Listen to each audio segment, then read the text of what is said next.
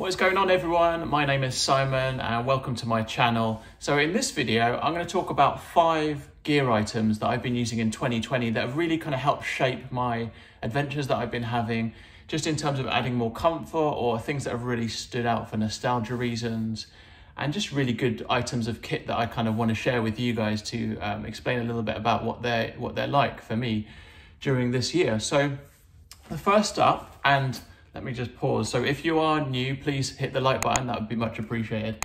And subscribe if you're not already subscribed. Much appreciated. The support for the channel has been great so far. So the first up then is the Trekology Aluft UL80 sleep mat. Now, I've used this a bunch of times. Trekology kindly sent this to me and it's a great bit of kit. And the reason why is because it's really robust. So it's made of a 40D nylon and the reason I, I, I, like the fact that it's so nice and thick and robust is that I can just chuck it around. I don't have to worry about it. It retails at about $39.99 on Amazon. And I know with, for example, the Thermarest Neo Air X Lite, which I also have, that's that can be, I'm a little bit wary of using it just because it's so expensive. So I find with this, I can just chuck it around and I don't have to worry about it. The penalty, of course, is the weight. So it's around 560 grams and the Thermarest Neo X Lite, which I have, the regular version, is weighs in at about 360 grams. So there's obviously a, a weight difference there. Um, and the other thing I really like is it's not tapered. So it's just one size all the way down, so your legs aren't going to slip off the bottoms. It has slightly curved edges, so your arms aren't going to fall off. Um, but one of the things I did find actually lying on my back was that I'm quite wide and my arms are dropping off the sides so perhaps it's not quite wide enough. Packs down nice and small, so it's about 18.5 centimeters by about 12 centimeters pack size. In terms of the thickness, it's around 10 centimeters thick, so it's gonna keep you nice and high off the ground. It is technically a three season sleep pad. And just going back to the thickness, compared to the, the thickness of the Thermarest Neo Air X Lite, that's about six and a half centimeters. It is a three season pad as mentioned um, and it has an R value estimated between 1.6 and 2 versus I think around 4.5 for the Thermarest, so quite a big difference there. And Trekology had a lot of success with the Aluft pillow, which I've seen on a lot of YouTube channels and really popular product. And so this has kind of really come to the fore now as a sleeping pad and it's just a, a super cheaper option basically versus some of the other more expensive pads out there. Now I touched on denier earlier, so the Thermarest is 40D.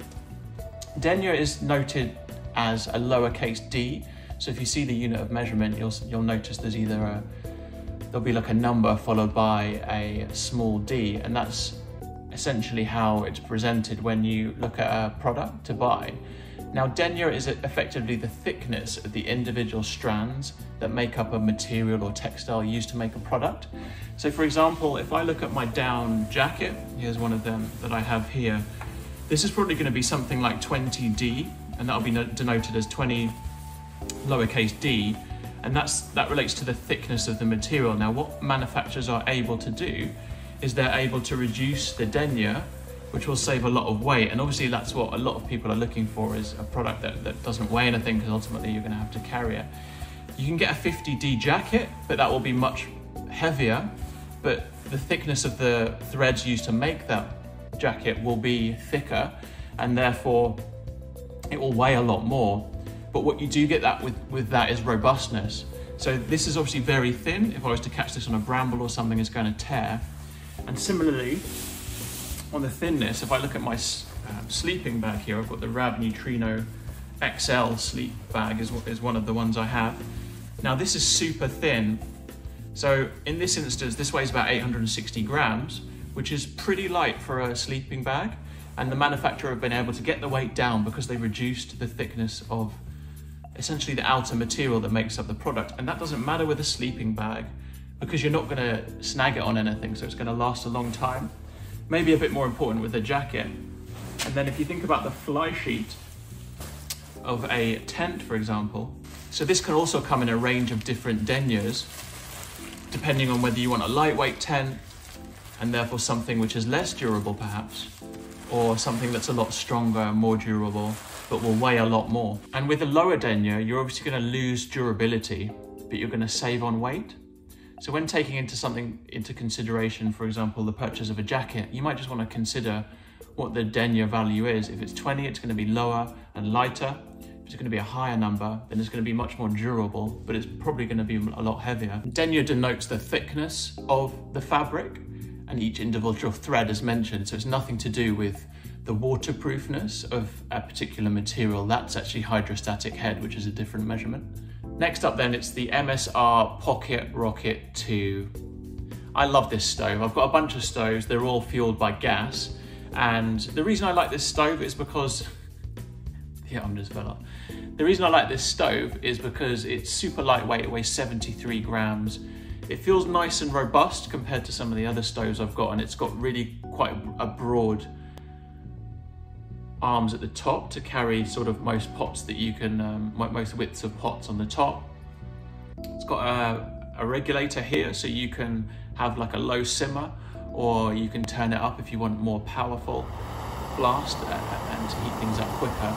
And in terms of boiling water, it can boil a litre of water in 3.5 minutes. It has the WindClip windshield technology, so there are some grooves here so if one of the sections blows out because of the wind, then the other two work or even one may work. Some of the criticisms of this are that it can create a heat spot on the bottom of your pot, but to be honest, I've never had any issues with that before. It's lightweight, as I mentioned, it weighs 73 grams and it can fit into, if you have one of those small sort of 200 gram gas canisters, you can include that and this, and that can go into one of your cook pots. And just on that arm, this there's an, uh, a section there where you can insert an Allen key, and I'm just going to tighten that up. So this isn't this isn't going anywhere. This is nice and robust, and it's going to going to stay with me for many. I'm going to be able to get lots of years of use out of it. So I know what I'm going to get from the MSR brand. I've had an MSR tent in the past, and that's been really good as well. So it gives me confidence this is a durable, good quality product. And it retails at $29.99 through Amazon and the arms just fold down nice and secure so that you can insert this into your pot as required. Next up, it's it had to be a tent, didn't it? And look how tiny it is. It packs down, what's that, two hand widths? Packs down super small. Yeah, it's the 3F UL Lanshan 1 Pro. The Lanshan without the Pro was a hugely popular tent, and you'll have seen this on uh, you know, if you've looked around, if you're interested in gear at all, you'd be a, you'd be a fool not to have noticed.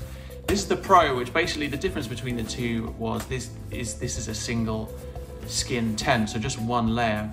Downside of that is condensation. So you're going to get that. You're always going to get condensation. And if you've ever slept out in a tent and you've reached out of your tent on the inner and you've, you've touched the inside of the fly sheet, then it's going to be soaking wet in the morning when you've woken up, and this is no different. It's it's um, it was really wet on the inside as as expected, and that did put a bit of a downer on it. It's a bit of a nostalgia pick for me. I took this on the West Highland Way, so I actually I kind of love this thing in, in many ways.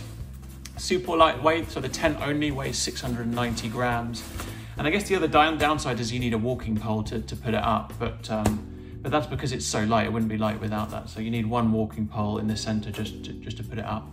It's about 120-ish centimeters head height, but that's at the peak of the tent.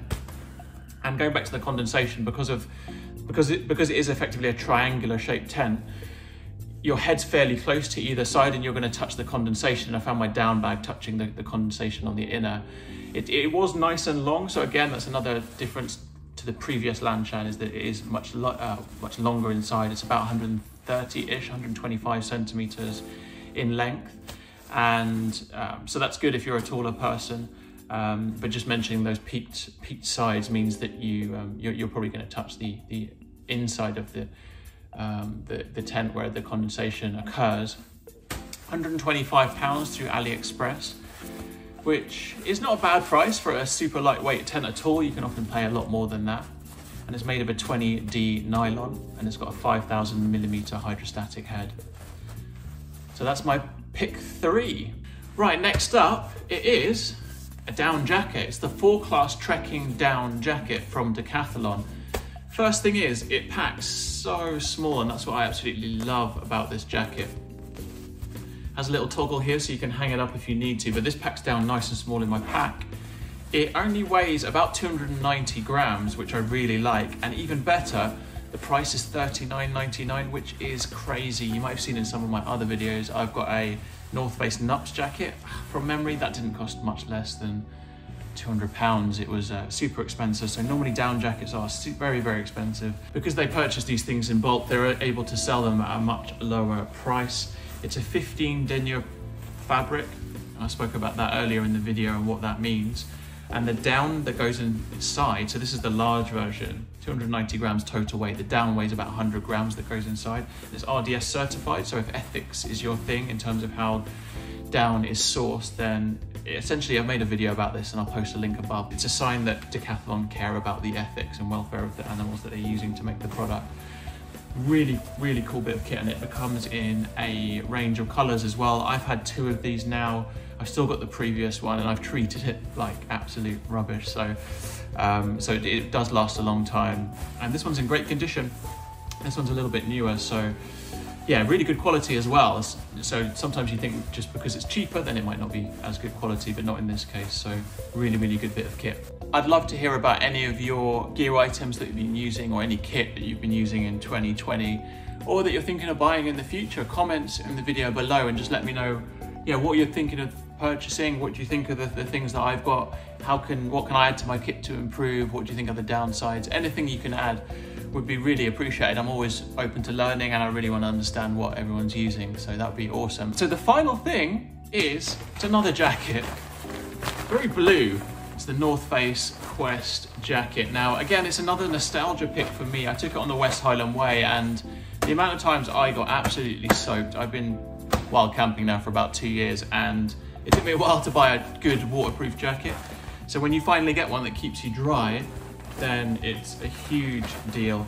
It's got some uh, mesh inner for breathability. It was it's quite heavy. It weighs about 460 grams. I'm not going to go into too much detail. I'll post a link to a video. I, I did a much more detailed review of the jacket and I've never got wet wearing this and I've walked through the Scottish Highlands, as I said, on the West Highland Way for days and it's kept me dry and I've taken it on a, a, bunch of wild camping trips this year and I've been dry throughout so and some of you guys have also mentioned that you've, you've purchased the uh, the jacket after watching my my review video so it's definitely a good good product. It, it costs around it ranges between sort of 70 pounds and 110 pounds but on one website, I think Millets or Blacks, they're selling it for about 70 pounds today. I think I've paid about 55 pounds after various discounts. But again, link above if you want to see a more detailed review. Guys, that's it from me on this one. I hope you enjoyed the, the video this time around. Again, post any comments below for any gear items that you've been using in 2020. I'd love to hear from you. And don't forget to uh, comment and share the video. Like if you enjoy it and hit the subscribe button if you're not subscribed and you're watching this. The amount of support has been amazing this year and I really appreciate it. So I'll see you guys on the next one. Take care and Merry Christmas. Cheers.